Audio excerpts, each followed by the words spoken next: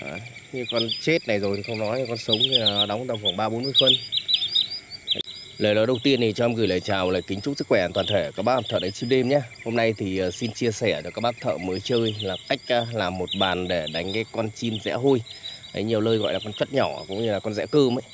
Ờ, đối với làm một bàn đánh thì khá đơn giản thôi. Đầu tiên thì anh em phải chọn được một cái điểm đánh. Điểm đánh thì ví dụ ở khu vực đồng của các bác ấy thì các bác có thể là ờ, thầu lấy một cái ruộng hoặc là có ruộng của gia đình thì bớt lại cái ruộng tầm khoảng hai ba xào đánh được. Bởi vì đặc tính của con chim này nó không xuống bờ trục như là con rẽ đàn đâu. Đấy, bắt buộc là phải có ruộng đánh.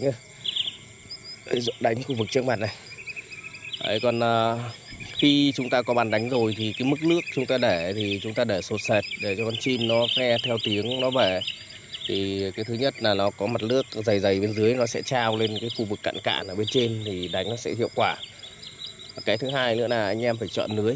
Chọn lưới thì à, đây là cái dòng lưới ờ, mắt 8 phân sợi 15 này thì cái dòng lưới này ấy, thì đánh tổng hợp các loại rẽ thì bên cơ sở nhà em là đang bán cho anh em thợ rất là nhiều.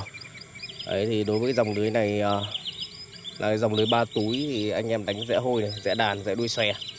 Đấy, rẽ hú đấy, tổng hợp các loại rẽ thì anh em sử dụng dòng lưới này thì bây giờ chúng ta có thể là sắm lưới chúng ta đánh con rẽ này cũng khá là kinh tế. Cái thứ hai nữa sau này thì chúng ta cũng có thể là à, đến lúc cái thời điểm con rẽ đàn nó đi chúng ta triển khai là đánh luôn con rẽ đàn ở trên lưới này.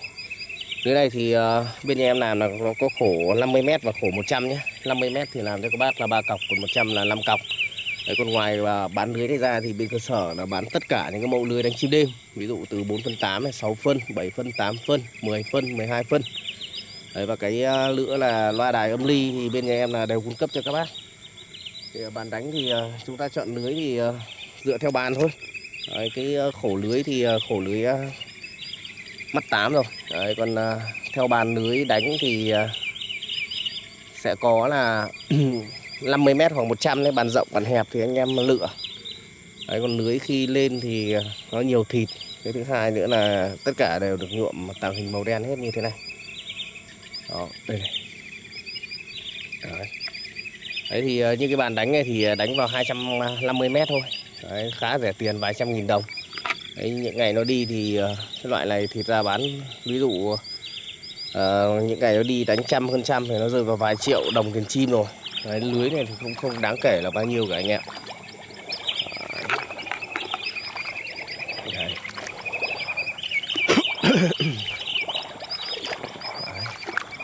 nước chúng ta cứ để sệt sệt này thôi. Đến mùa vẽ kia chúng ta phang luôn vào đây. Có thể đánh hai con chung một bàn được. Bởi vì hai con này nó cũng đi ờ, theo nhau mà. Tiếng nó khác nhau tí thôi anh em Thế nhưng mà nhiều khi là đến mùa anh em đánh đánh tiếng ấy, đánh tiếng con rẽ đàn này thì con rẽ này nó vẫn theo nó chúi nó đâm vào mầm xuống bãi. Hôm nay chim nó đi hơi ít tí nhưng mà đánh ok. Đấy, lưới khi đóng con chim ấy thì nó sâu lắm phá sâu lắm anh ạ. Đây này. Như con chết này rồi thì không nói con sống thì đóng tầm khoảng ba bốn mươi phân từ miệng túi vào thì ok. Đây này. Đó. Tính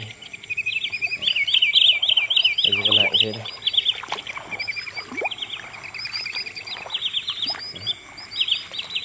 Đây, con này từ miệng túi trên xuống dưới bằng đúng một cái khoang giường luôn đấy, thì đánh nó ok. Còn con này nó đi cả ngày cả đêm anh ạ.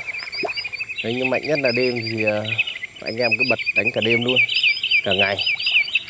Bởi vì cái bình nó chạy qua đầu 263 thì nó cũng tốn ít điện. Đây này.